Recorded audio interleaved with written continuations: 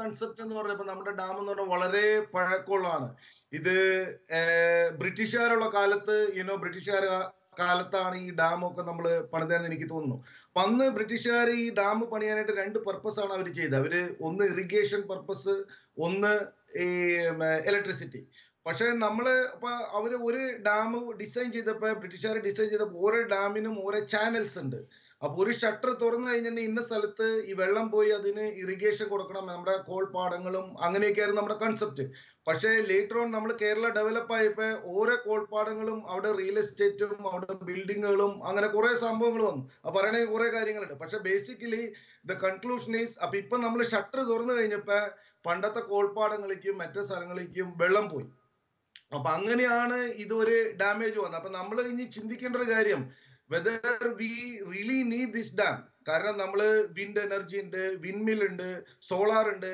ഇപ്പൊ നമ്മൾ തമിഴ്നാട് സ്റ്റേറ്റ് ഒക്കെ നോക്കണമെന്നുണ്ടെങ്കിൽ ഓൾറെഡി വിൻമില്ലൊക്കെ പ്രവർത്തിച്ചു തുടങ്ങി. അപ്പൊ കേരളത്തെ സംബന്ധിച്ചോളം ഇനി ഒരു ഡാമിന്റെ ആവശ്യമുണ്ടോ കാരണം അത്രയും ഇറിഗേഷൻ ഇല്ല.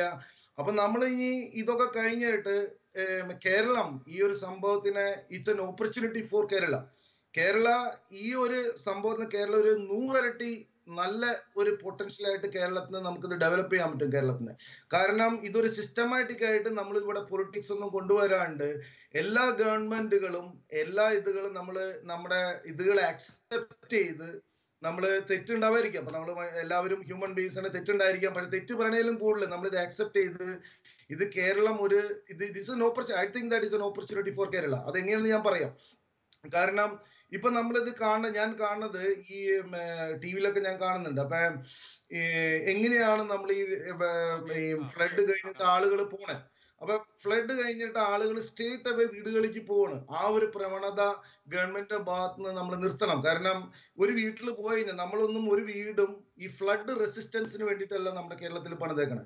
അപ്പൊ ഈ വീട് ഒരു സ്ട്രക്ചറൽ എഞ്ചിനീയറെ കൊണ്ട് നമ്മുടെ ഗവൺമെന്റ് ഇനിഷ്യേറ്റീവ് ചെയ്ത ഒരു സ്ട്രക്ചറൽ എഞ്ചിനെ കൊണ്ട് ഈ വീട് ആ ഫ്ലഡ് ചെയ്ത ആൾക്കാർക്ക് whether it's you know capable to leave the അങ്ങനെ ഒരു സർട്ടിഫൈ ചെയ്ത് അതുപോലെ ഒരു നല്ല പ്രൊഫഷണൽ ടീമിനെ അവിടെ ഇപ്പൊ ഞാൻ കാണുന്നത് പ്രൊഫഷണൽ ടീം ഒന്നല്ല അവിടെ കാണുന്നത്. അവിടെ വോളണ്ടിയേഴ്സ് എന്ന് പറയും. ഒരു സമയത്തിന്റെ പരിമിതിയാണ്. തീർച്ചയായിട്ടും താങ്കൾ പറഞ്ഞ കാര്യം ആൾക്കാർ പരിഗണിക്കുന്നതാണ് വിശ്വാസം. Thank you. ഞങ്ങളോട് ചേർന്നതിൽ വളരെ സന്തോഷം.